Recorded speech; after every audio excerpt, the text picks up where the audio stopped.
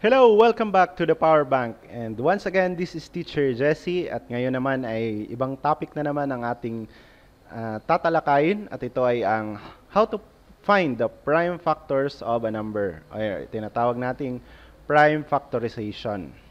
Okay, so sana ay may matutunan na naman kayo at na bago or kung hindi man bago ay ma-refresh ang kaalaman ninyo tungkol sa prime factorization. Okay. Ah, nung nakaraang video ay na-discuss ko na yung mga kaibahan ng prime and composite numbers at kung paano alamin kung ito ba ay prime or composite numbers. So pwede niyo tingnan sa mga videos ko, nandoon makikita ang title nun ay what are or how can we identify the prime and composite numbers. Okay. This time we'll have a drill first. So sa nakasanayan na natin, meron tayong drill para pampabilis ng ating utak. So, bibigyan ko kayo ng konting segundo lang, tapos pwede nyo i-pause kung hindi nyo kayang mabilisan. So, pwede nyo i-pause, ah, i-pause bago ko i-reveal ang answer. Let's start with, uh, fill in the blank with the correct multiple of the given number. 4, 8, 12, blank, 20, and blank. Okay, so the correct answers, 16 and 24. Next, 6, 12, blank, 24, 30, and blank. Okay, the correct answers, 18 and 36. Next, 5, blank, 15, 20, blank, and 30. Okay, very easy, 20 and 25. Next, 9, 18, blank, 36, and blank. Okay, we have 27 and we have 45. Number 5, 7, 14, 21, blank, and blank. Okay, so 28 and 35. So these are the multiples of a number. Next is fill in each blank with the correct factor of the given number. Number 1, 5 times blank equals 30. Okay, the answer is 6. Blank times 9 equals 36. Okay, it is 4. 8 times blank equals 24. Of course, it's 3. Number 4, blank times 7 equals 49. 7. Number 5, 2 times blank equals 70. Okay, 35. And blank times 10 equals 120. The correct answer is 12.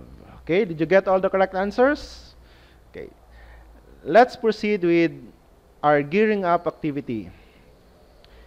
This is our uh, the, the given uh, problem. Express the numeral 100 as a product of prime factors. Okay, so in our previous na lesson, meron tayong mga factor, uh, factoring or mga factors ng numbers.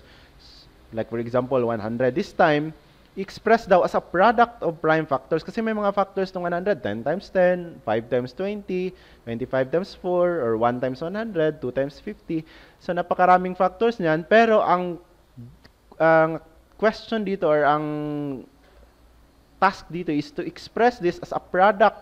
So, kumbaga parang ganyan, yung uh, 1 times 1 times 100, yung ganun. Kaya lang, dapat prime factors. Kasi pag 1 times 100, 1 is not a, neither prime nor composite. Tsaka kung sabihin natin 10 times 10, 10 is not a prime. So, hindi pwede. Kung 2 times 50 naman, 2 is a prime, pero ang 50 naman ay hindi. So, hindi pwede. Kung 25 times 4, ganun din. Puro composite numbers. So, paano natin gagawin to? Okay, dyan na papasok ngayon ang tinatawag nating prime factorization. Ang prime factorization is a way of expressing a number using uh, ex- expressing a number as a product of prime factors. Okay, paano natin gagawin 'yan? Meron tayong hint. You need to remember the most common prime factors from least to greatest. Ano yung mga least common or most common prime factors? We have 2, 3, 5, 7, 11, 13, 17, 19, and so on. Doon nga sa sieve of Eratosthenes na ginamit natin, 2, na-mark natin ang mga multiples ng 2, 3, 5, 7, and 11 lang. Na-identify na natin ang mga prime numbers from 1 to 100. Okay, so ganun din. Ito yung mga clue natin or ito yung mga tandaan natin. Dapat ang mga factors ay ganito lang. Tapos, ang product niya is 100. Like for example, 2 times 3 equals 6 times 5 is 30. So, dapat 100 ang target natin. So, paano yan gagawin? Okay, we have this solution. Okay, we can make use of the following methods to find the prime factors of a number. So we have, the first one is the factor tree, and the second one ay ang decomposition method or tinatawag nating continuous division. So continuous, ibig sabihin, patuloy or continue ang pag-divide. The process of finding the prime factors of a number is called the prime factorization. Yun yung sinabi ko kanina. Okay, so example, uh, solution number one, for example, nung given natin, yung 100. So, using the factor tree, ganito ang mangyayari. Hahanap ka ng factors ng 100. Pwedeng composite numbers muna. So, like for example, 10 times 10. Tapos lalagyan natin ng 3. Parang tree diagram. Yan. Tapos, 10 times 10 is 100 etong mga factors na to, since composite pa to, so gagawin natin, hanapan nating paraan na magkaroon ng factors rin na prime. Like for example, 10. Ano yung mga factors ng 10 na nandirito? For example, 2 times 5 or 5 times 2. Pwede. Tsaka dito rin 5 times 2. At kapag na-reach na natin ang part na wala nang, lahat ng pinakababa ay puro na mga prime numbers, that's the time that we can already express the, uh, 100 as the product of the prime numbers. So yung apat na yan, yung pinakadulo ng tree diagram or ng factor 3. So gagawin natin, isulat lang natin 5 times 2 times 5 times 2 or mas maganda kung ascending order tayo. Magsimula tayo sa pinakamaliit. We have 2 top times 2, ayan din, times 5, ayan, and times 5. Or pwede rin nating isulat na using the exponential kasi dalawang 2 yan, so sulat natin 2 raised to the power of 2 or 2 squared times dalawang 5 yan, so times 5 squared. Check nga natin kung tama ba. So 2 times 2 is 4. 4 times 5 is 20. At ah, tama ba? 2 times 2 is 4. 4 times 5 is 20 and then 20 times 5 is 100. Tama nga, 100. Therefore, the answer is this one. Okay? So you see, lahat ng factors ay mga prime numbers na. We have also another method, ang decomposition method. Ay, by the way, pag may tanong kayo, paano kung ginamit dito ay 2 times 50? Pwede pa rin. Kung 2 times 50, yung 2 prime na, tapos 50, 5 times uh, 50 is 5 times 10, tapos diretso na naman yung 10, 5 times 2, ganun pa rin. Ganun pa rin ang resulta sa baba prime pa rin ang resulta niyan. Okay? Kahit anong pang mga factors mo dito, as long as tama yung binigay mo ng mga factors. Okay, next is the composition method or continuous division. So, una, sulat mong 100, tapos gawa tayo ng inverted na parang baligtad na division sign, tapos pili ka dito sa mga prime numbers na to. Is it divisible by 2? Di ba? May check tayo. Even number yan. So, divisible by 2. So, 2 kaagad tayo mag-start. Okay? So, 100 divided by 2, kalahati ng 100 is 50. Next, is it divisible by ito, prime numbers? Siyempre, mag-start pa rin tayo sa pinakamaliit. Is it divisible by 2? Pwede. So, pwede yan sa 2. Kalahati ng 50 is 25. Next, 25. Is it divisible by 2? Hindi, kasi add number yan. Is it divisible by 3? 2 plus 5 is 7. It is not a multiple of 3. So, hindi siya divisible by 3. How about by 5? Siyempre, pwede yan. 5, 10, 15, 20, 25. 5. So, divide by 5. Tapos, ang result is 5. Next is, yung 5 na yan, siyempre prime number yan, i-divide rin natin yan ng 5. Hanggang sa naging 1 na dito, and ito na yung answer natin. You see, parehas lang. 2 times 2 times 5 times 5 pa rin, or 2 squared times 5 squared. Magkaiba ang process, pero parehas ang result. So it's up to you kung alin sa inyo ang mas mabilis, or mas maganda, or mas hiyang kayo. Ito bang uh, factor 3, yung kanina, ito ba, or mas madali para sa inyo ang decomposition method. It's up to you to choose. Okay?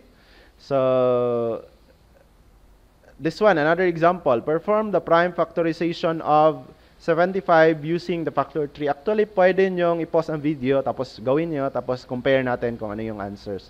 Okay? Sige. So, i-reveal ko na. We have 75. Factor 3 ang nakasulat dito. Sundin natin. So, pwede kayong pumili. Pwedeng 5 times 15, pwede ring 25 times 3. Ayan. Next, since this is not prime, composite pa to, so factor out natin yan, pwedeng 5 times 5. Tapos prime na yan lahat ng na, nasa dulo, ayan na. So, ayan ang answer natin. It is, unahin lang natin ang pinakamaliit, 3 times 5 times 5 or 3 times 5 squared kasi dalawa yung 5s na yan. So, check natin kung tama ba. 5 times 5, 25 times 3, 75. Kahit baligtarin pa natin yan, 3 times 5, 15. 15 times 5 is 75. Prime factorization, uh, factor 3 method. Okay, next. Perform the prime factorization of 48 using the decomposition method or continuous division.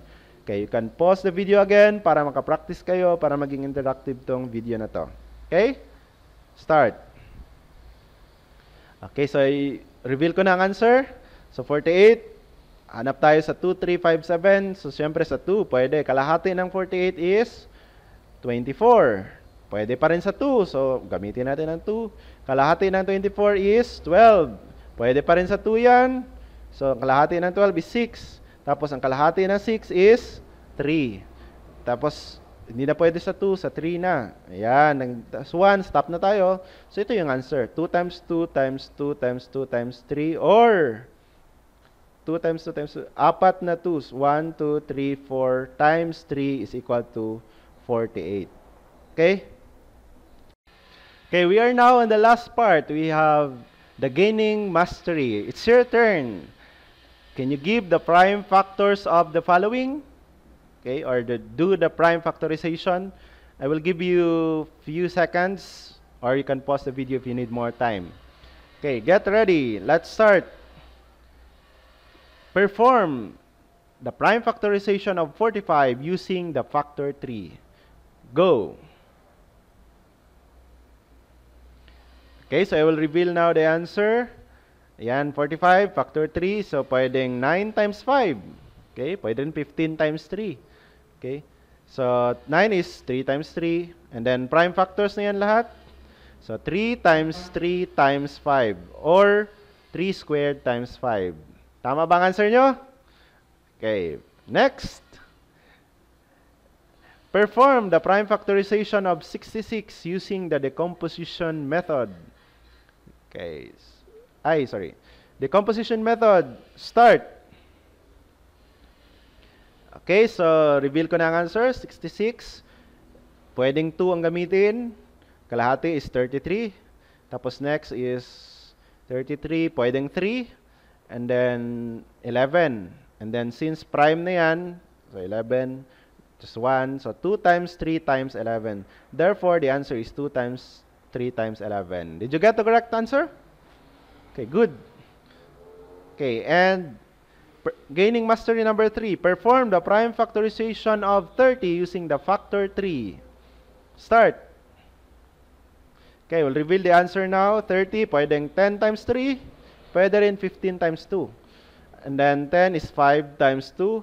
So 5 times or 2 times times 3 times 5 in ascending order. Pwede rin magkabaligtad-baligtad, pero usually pinapractice natin is ascending order para hindi masyadong magulo. Yan. Okay, did you get the correct answer? Okay, so we are now down to the last number. We have number 4, perform the prime factorization of 70 using the decomposition method. Start. Okay, we'll now reveal the answer. 70 Pwede sa 2, kalahati ng 70 is 35. Tapos 35, hindi pwede sa 2, hindi rin pwede sa 3 kasi 3 plus 5 is 8, 3, 6, 9, hindi pwede. So, pwedeng 5 and 7. Ayan. Tapos 7, pwede rin sa 7, divided by 1, ay, divided by 7 is 1. So, prime numbers na yan lahat. So, the answer is 2 times 5 times 7. Okay. So, Great job! I hope that you have learned something new today. Uh, that's all for our video for today about prime factorization. Sana ay may natutunan kayo. Please like and share this video para makatulong rin sa iba ngayong pandemic. Saka self-learning ang, kaila- ang modality natin ng learning. And iiwan ko na naman to, tong quote na to. In math, it is not about how much you know. Rather, it is what you do when you do not know. Napaka gusto ko tong quote na to kasi hindi naman talaga paramihan ng alam sa math. Okay? Ang kailangan sa math is marunong kang dumiskarte kung anong gagawin mo kung hindi mo na alam yung mga concepts na yun, mga lessons na yun. So, makatutulong rin sa inyo ang kagaya nito, panonood ng mga videos or group sharing or group study or hindi kasi pwede ang group study ngayon. So, ang pinaka mainam talaga ngayon is ang aside from the modules is using the supplemental materials like instructional videos. Napakaraming videos sa YouTube na pwede niyong panoorin. Okay, once again, thank you very much for watching and see you next time.